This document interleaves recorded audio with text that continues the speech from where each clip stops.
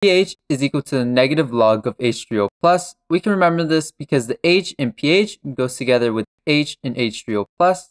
POH is equal to the negative log of OH minus. The OH in POH goes together with OH minus. And pH plus POH is equal to 14. Next, we need to know that the concentration of H3O plus is equal to 10 to the power of negative pH. Again, the H's go together. And the concentration of OH minus is equal to 10 to the power of negative POH. The OH's go together. Instead of memorizing the formulas for OH minus and H3O plus, I think it's easier to understand how logs work. So let's look at pH is equal to the negative log of H3O plus. What we really have is pH is equal to the negative log base 10 of H3O plus. Whenever you take the log of something and it doesn't give you the base, the base is assumed to be 10. So first, let's move the negative to the other side. So we have negative pH, and that would cancel out the negative on this side. To go from this to this, what happens is that the base takes the power of what the log is equal to, and that is equal to what we're taking the log of. If that's confusing, you can remember it as a full circle. So we have 10 to the power of negative pH, and that is equal to H3O plus, and it's going in a circle. 10 to the power of negative pH, and then that is equal to H3O plus. And you would do the same thing for POH. The last formula we need to know is Kw is equal to the concentration of H3O plus multiplied by OH minus, and Kw is the water ionization constant. This is given in the data booklet. So if we have H3O plus or OH minus, we can solve for the other one. Finally, we need to know the pH scale. So a pH scale typically ranges from 0 to 14. A pH that is less than 7 is considered acidic. A pH that is greater than 7 is considered basic and a pH that is equal to 7 is neutral. Let's do this next problem. Determine the pH given the following concentrations and state if the solution is acidic or basic. So we have H3O plus is equal to 6.0 times 10 to the negative 12 moles per liter. We know that pH is equal to the negative log of H3O plus. So when we take the negative log of 6.0 multiplied by 10 to the power of negative 12, we get a pH value of 11.22. And the sig digs for pH and POH is a little bit different. So H3O plus has two sigdigs, 6.0, but for pH and POH, the sigdigs only apply to the decimal number or decimal places, so we have two sigdigs, so we have two decimal numbers. A pH that is greater than 7 is basic, so the solution is basic. Let's do the next one. The concentration of OH minus is equal to 3.8 multiplied by 10 to the negative 5 moles per liter. We can't get pH, but we can get POH. POH is equal to the negative log of OH minus. When we do the negative log of 3.8 multiplied by 10 to negative 5, we get 4.42. And again, let's look at sigdigs. So OH minus has two sigdigs, 3.8. For POH and pH, the sigdigs only apply to the decimal numbers. So we have two sigdigs, so we have two decimal numbers or two decimal places.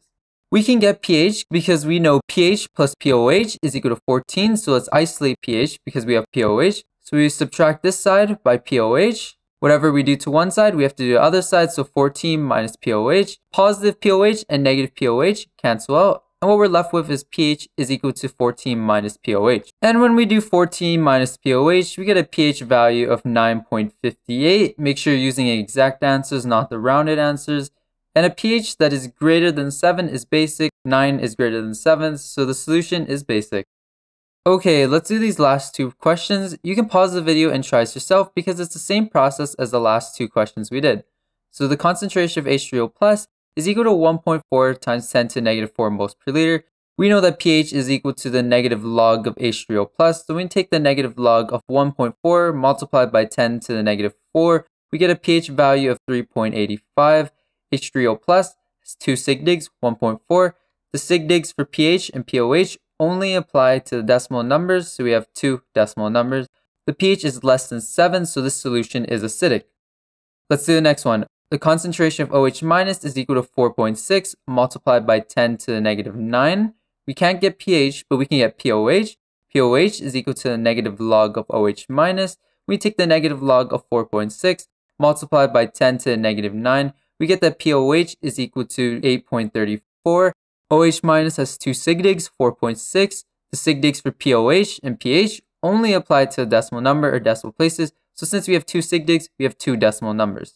Now we use the formula pH plus POH is equal to 14. We have POH and we're trying to get pH, so we need to isolate pH. So we subtract this side by POH Whatever you do to one side, we have to do other. So we have 14 minus POH.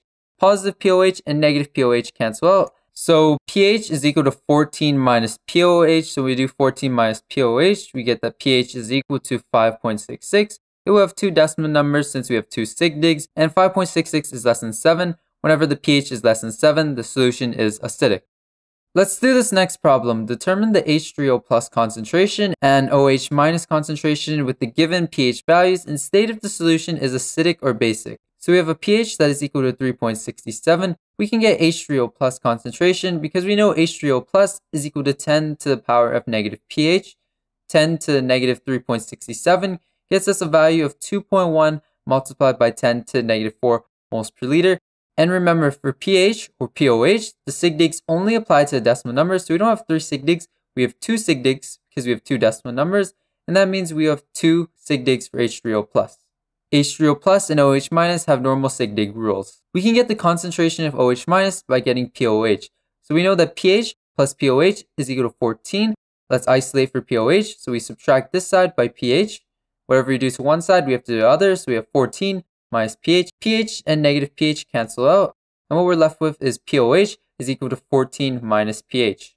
When we do 14 minus pH, which is 14 minus 3.67, we get the POH value of 10.33. And now that we have the POH value, we can get the concentration of OH minus. So the OH minus is equal to 10 to the power of negative POH. So when we do 10 to the power of negative 10.33, we get the OH minus concentration, and that is 4.7 times 10 to the negative 11 moles per liter. It will be in two sig digs since we have two decimal numbers for our pH value. We know the solution is acidic because our pH value is less than 7, or another way to know the solution is acidic is to look at the concentration of H3O plus and OH minus. H3O plus is equal to 2.1 times 10 to negative 4, and OH minus is equal to 4.7 times 10 to negative 11 moles per liter.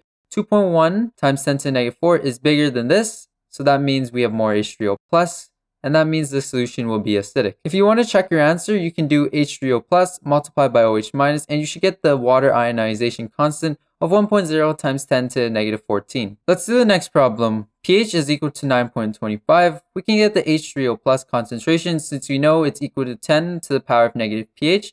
We do 10 to negative 9.25. Get an H3O plus value of 5.6 multiplied by 10 to negative 10 moles per liter.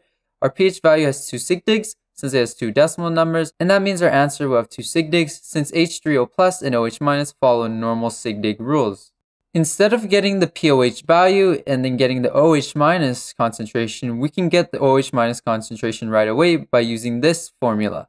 Kw is equal to H3O plus multiplied by OH minus. So now let's isolate OH minus. We divide this side by H3O plus. Whatever you do to one side, we have to do the other. So we have Kw divided by H3O plus we know the concentration of H3O plus, and we know Kw because it's a constant in our data booklet, so we can get OH minus. H3O plus divided by H3O plus cancel out.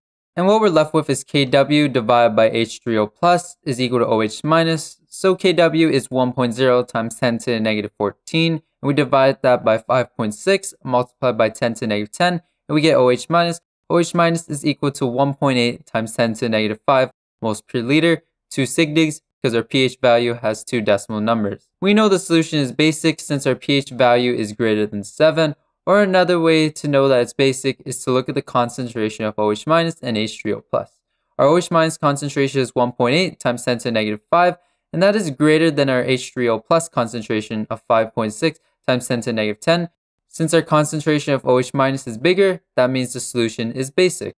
Let's do these last two questions. You can pause this video if you want and try this yourself. It has the same process as what we just did.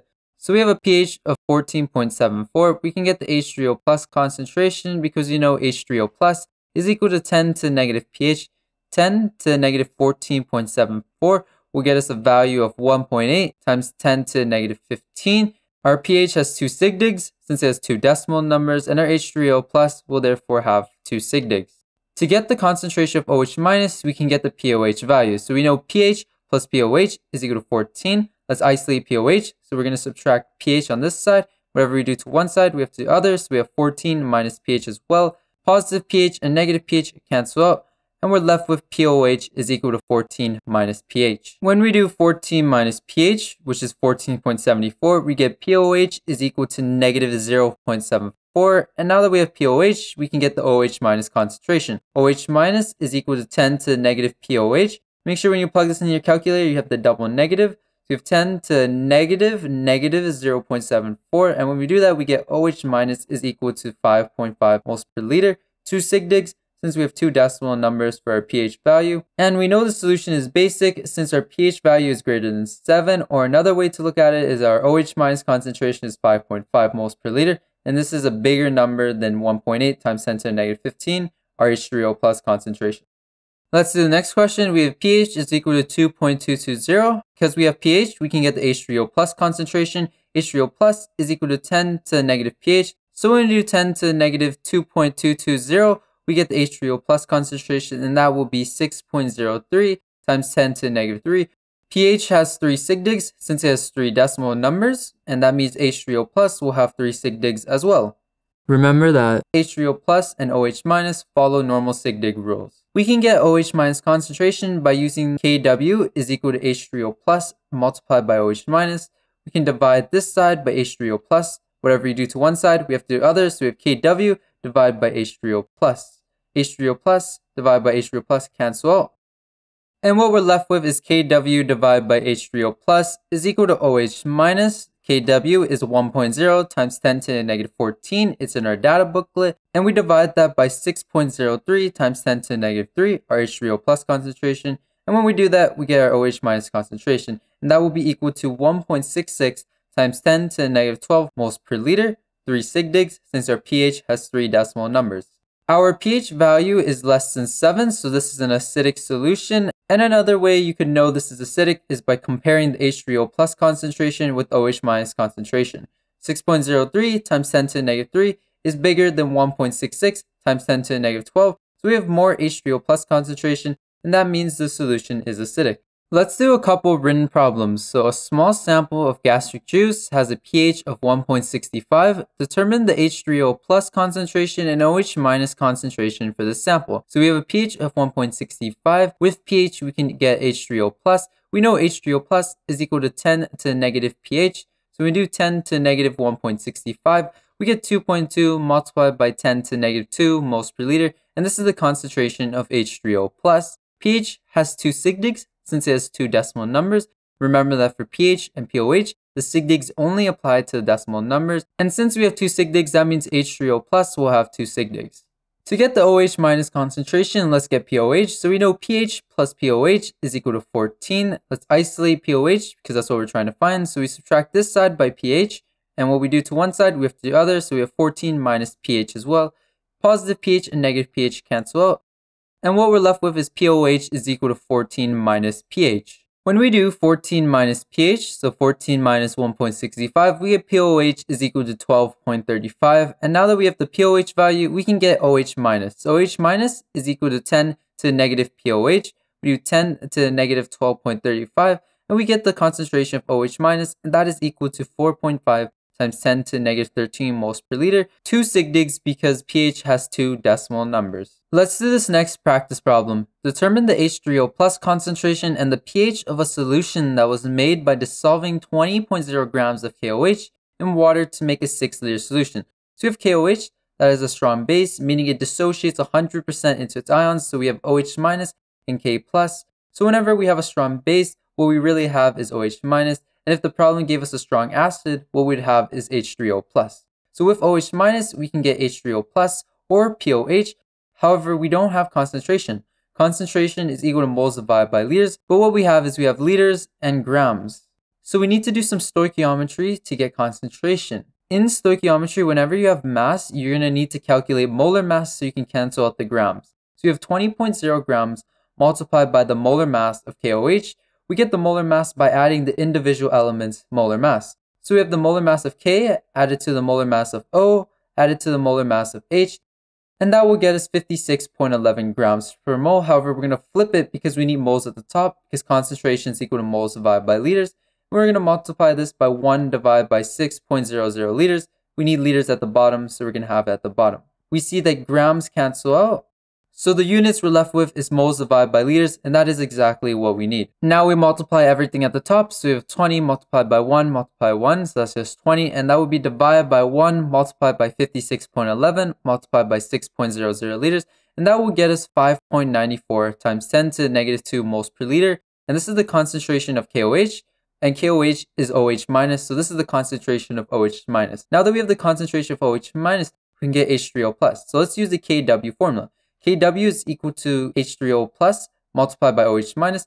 We need H3O plus, so let's isolate it. So we need to divide this side by OH minus. Whatever you do to one side, we have to do the other. So you have Kw divided by OH minus as well. OH minus divided by OH minus cancels out on this side. Now we're left with Kw divided by OH minus is equal to H3O plus. Kw is 1.0 times 10 to the negative 14. It's the water ionization constant in your data booklet. And we divide this by OH minus, which is 5.94 times 10 to the negative 2.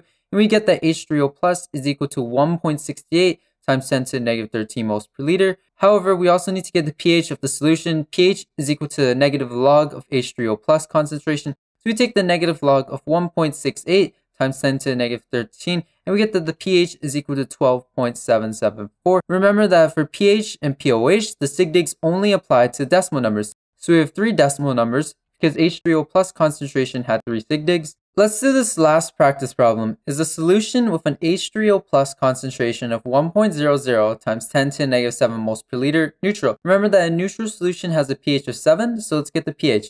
pH is equal to the negative log of H3O plus concentration, and we have H3O plus right here. It's 1.00 times 10 to the negative 7, so we take the negative log of 1.00 times 10 to the negative 7, and when we do that, we get a pH of 7.000, three decimal numbers since we have three sig digs, and since the solution has a pH of 7, that means it is neutral. However, there is another way to find out if the solution is neutral, so let's get the OH minus concentration. We know that Kw is equal to H3O plus multiplied by OH minus, so let's get OH minus. So we need to isolate OH minus. So we divide this side by H3O plus, and that means we have to divide the other side by H3O plus.